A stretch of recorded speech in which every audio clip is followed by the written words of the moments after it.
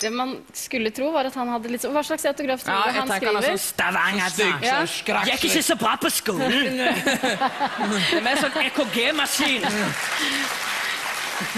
Den typen. Jeg er mer et følelsesmenneske. Men Men Å, her kom de nydeligste krøller, kanskje? Mhm. Nei. Du kødder med meg nå. Nei. Nei, nei, nei, nei. nei. Løkkeskrift.